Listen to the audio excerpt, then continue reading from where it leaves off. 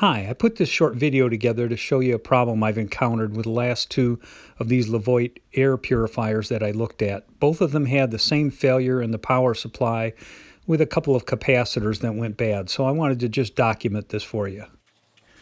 So to get access to the power supply, we're going to have to remove the front cover.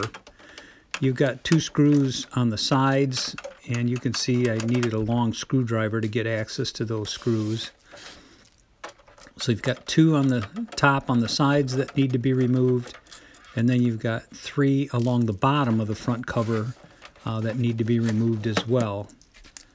So let's get those screws off of there. And then what we need to do next, uh, and there are still three screws that are holding that front panel on that we need to remove from the back side. So let's get these screws off on the front.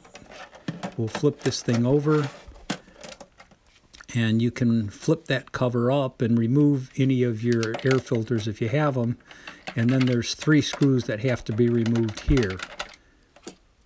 One of the screws was a unique screw head. It had a triangular shape so I had to use a, one of the special bits to get that screw out.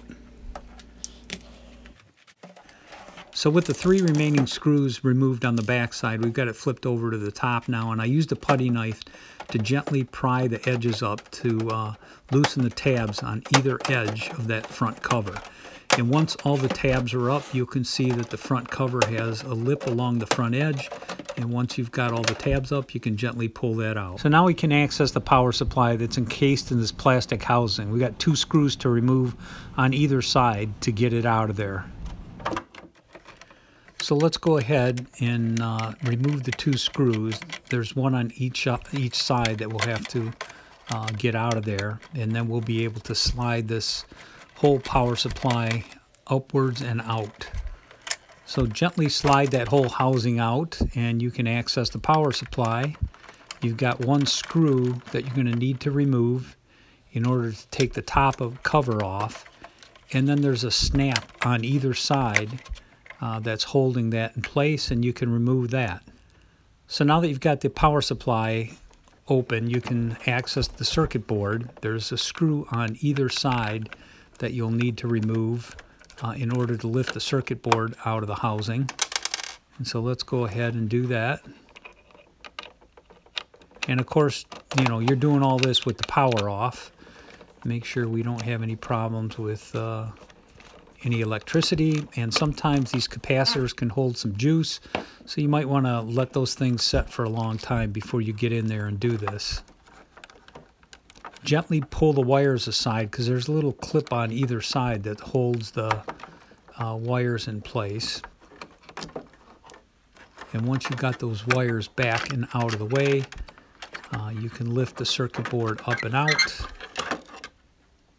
And you can see that uh, I don't know if I show it to you here. Yeah, we're zooming in here. and You can see that there was a leak on one of those capacitors. You can see that brown stuff all over the place here. I'll point that out. And uh, I've since replaced both of those capacitors. So those are new capacitors, the small ones. Uh, they're actually 470 microfarad, 16 volt, and those have been replaced. Um, but you can see that the damage that was done from one of them that had leaked. You'll also note that I marked the board uh, with the plus sign because both of those uh, capacitors are polarized. So you want to make sure you orientate them correctly when you reinstall the new ones.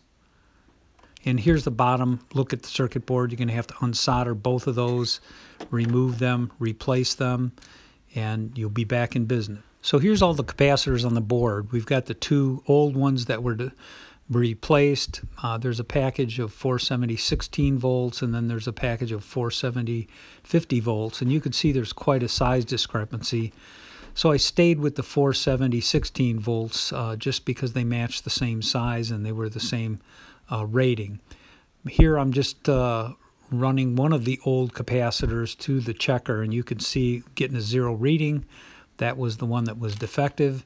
And this one here, uh, I think, gives a satisfactory reading and could probably still have functioned. But while I had the circuit board out and the power supply removed, I just went ahead and replaced both of them.